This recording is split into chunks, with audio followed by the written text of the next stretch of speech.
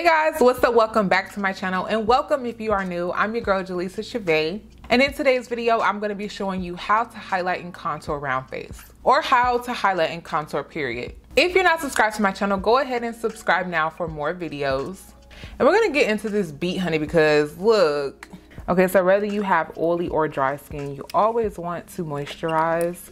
I'm going in with the Sunday Riley drops. I'm gonna go in with the Stila foundation. And I'm in the shade Tan Deep. I'm gonna take about three pumps of this to get a full face. And this one's really dark, so I like to go with about two pumps of the Hydrating Fenty foundation. I'm gonna warm that product up on the back of my hand before applying it.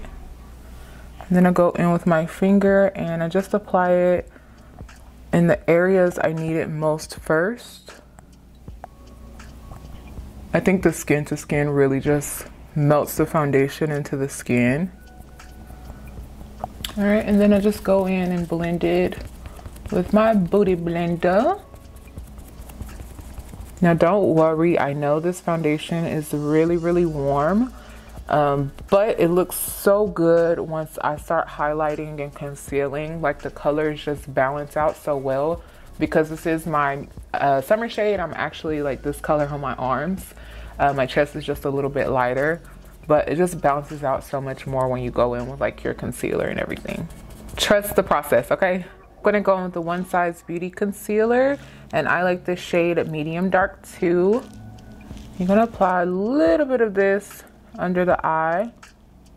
And when I'm doing this, I like to kind of avoid right under the eye just so that I won't have too much product buildup. And then I'm gonna take a little bit on the outer corner. Right in the center of the chin. And some in the corners of the mouth. Everything is meant to be lifted and snatched. Just using your makeup creates the illusion of a slimmer face or a more snatched face or like a, you know, like a pulled up look. Creating the lines here instantly gives you an eye lift. Doing concealer right in the center brings attention to your face, brings light to your face right in the center. And when you contour, it creates shadows, which we'll get to in a minute. Whenever you go in and start blending the concealer, you want to use light pressure, like I said, so that the product stays. And as you can see automatically, it looks like a spotlight is right on my chin. Here on the sides of the mouth, I took just a little so that I can connect it to where my contour will stop. And you want to blend under the eye. Make sure you are looking up and you're using light pressure. Less is more, which is why I don't apply it right under the eye. As you can see, that concealer is going to automatically start to blend up under the eye anyways. So why put product there if you know it's going to end up there anyways? I'm keeping this right on the curve of the nostril and then up towards the temple. So from the inner corner of the eye down to the nostril, up to the temple. And I feel like the Beauty Blender does most of the hard work for me. Like I don't have to watch where I'm blending. It's like the Beauty Blender fits perfectly under the eye like that for a reason so that you don't have to like do too much like math in your head. It's really just the tools that you're using and how you're using them. It's made to fit under the eye, twist it up like that to blend up. And it's exactly designed to do exactly that. All right, now we're moving on to highlighting. This is just emphasizing or enhancing the light that we've already created it looks a little dull because all we did was color correct. We just basically got rid of dark circles and now we're going to highlight. I'm going to go in with the Milani Light Nude Concealer. And I just apply just a little bit of this. Less is more. Is a very delicate area, so you don't want to put a bunch of concealer to get that smooth, like flawless under eye. To get that smooth, flawless under eyes, to use less product. And you want to let that sit for about 10 or 15 seconds. After it sits for a minute, you're going to go ahead and start blending it in. Same placement as before. We're actually going to keep this more towards the center. So you don't have to drag it all the way up. So I'm basically not dragging it past the outer corner of the eye. Like I stop right here on the outer corner. Any excess product I apply on top of the chin. And I also drag some right under where I'm going to be contouring. All right, and what I'm going to do is go on the edges of that highlight with the butt end of my Beauty Blender and blend out any harsh lines. I'm avoiding that line there because I want it to stay very straight. So I'm just blending out like the bottom edge around the nose. All right, now I'm taking the Lawless Seal the Deal Translucent Powder. I'm gonna use my Beauty Blender. You wanna apply a generous amount. Go on the back of your hand to take off like that first top layer so that you get an even amount of powder to set. And you just want to bounce that powder in. This is the biggest tip on how to get the most flawless under eye. If you have an even amount of powder and you're not like over powdering, gonna get a flawless under eye. And then I go in with my second layer to bake. Like that. Also gonna set my chin where I highlighted. And you're going to carve out your contour. When you carve out your cheekbones, I'm telling you, it gives you a lift instantly. I'm gonna go with this Beauty Creations powder. It's like very, very dark, but it's super warm. And I just like to use this to show you guys like um, where to contour. I like to contour right here in the hollows of my cheek and I start higher than lower. So I could start right here, right in front of the ear, which is where I carved out the cheekbone. But the higher you start, the more lifted your face looks. So with contour, we're creating artificial shadows. So I like to go with that dark powder and just apply that right in the hollows of my cheek.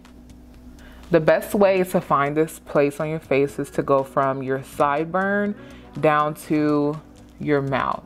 So imagine this imaginary line here going from your sideburn down to the corner of your mouth. That's where you want to place that line. I'm using very light pressure to blend that out. Whenever you're blending your contour, you always want to blend upward. Blending it downward would create a 5 o'clock shadow right here. And then I'm to take some Fenty Beauty bronzer and sit this on top of where I created the contour in the hollows of my cheek. And I'm not going past the apple of my cheek. I want my blush to be placed right here on the ball. So I'm keeping the contour really close to the edge. Brush a little on the side of the forehead, which gives an illusion of a smaller forehead makes the light on your forehead like very small. So the more you contour, the smaller that spotlight on your forehead will be, giving you a smaller forehead. You contour the jawline starting from behind the ear down to the chin and always blend backward into the neck. And as you can see, that shadow there created a sharper jawline compared to this side. You can still kind of see like the curve of my chin here. And if you start your contour from behind the ear and work it to the chin, it just creates a shadow to make that completely disappear. Like look at the difference. And always blend down into the neck so that you don't create a five o'clock shadow here. It's all about lighting. Like lighting, it could really make a difference if you get that down in your makeup. All right, and then we're gonna contour the nose with this bronzer.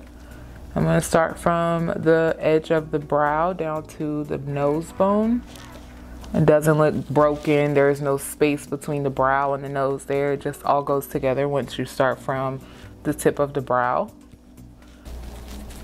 And then go in and apply a little powder on the sides. All right, to make everything look super professional, flawless, like next level, you want to take some MAC setting powder. MAC is OG, we all know that, and it's for a reason. This powder is going to give you a professional finish. It looks so smooth, and I like to brush away my baking powder with this. Okay, I'm loving how this looks, but blush is going to take this to the next level. All right, so I'm gonna go in with some Baby Doll Pink blush. I mentioned this in my last video. It's like super bright. Um, it's like a trending blush now, which is crazy because I was using it way before then. But anyways, and what I'm gonna do is start to dab this right on top of the contour and work my way to the apple of the cheek. This is gonna bring color and life to the skin. Blush instantly makes you look younger because it's youthful. You know, we're always blushing when we're younger. So this is what's going to really make your face pop. And it's best to start on top of the contour, like literally right on top of that cheekbone and work your way to the apple of the cheek. And what I'm doing is also dusting it a little bit right under the eye. I'm going to set the under eye with this Wet n Wild highlighting powder. This is just going to brighten it up a little bit more. And I just push it in. And I also blend it in with the blush and contour so there's no harsh lines there. All right, I'm gonna go finish the rest of my makeup off camera and I'll be back to show the finished look.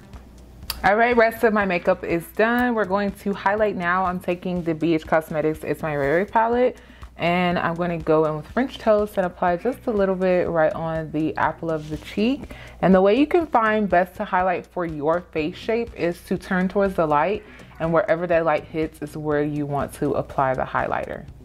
And I take a little on my cheeks and then a little in the center of the forehead. I'm gonna set the face with some setting spray.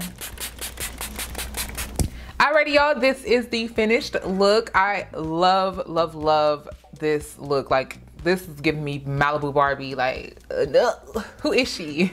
I hope that my tips and tricks helped you today on learning how to highlight and contour round face. You can use these tips too, even if you don't have a round face. It's really about learning where the light hits on your face, where to create the shadows, and also lines make a huge difference. Also, tools are very important. Beauty Blender is going to be the best thing for beginners because it's designed to help you like place product exactly where it needs to go and blend that product out where it needs to be. Brushes be a little bit more advanced because there's so many types of brushes and they have brushes created for that reason. And if you're using the wrong type of brush, it could just like, it can make it very difficult. If there's anything about makeup that you want me to go in depth about, please leave it down below in the comments and I will make a dedicated video for that. Thank you guys for coming back to watch another video. Don't forget to like, comment, and subscribe to my channel. And I believe that's all. I'll see you guys in my next video. Peace.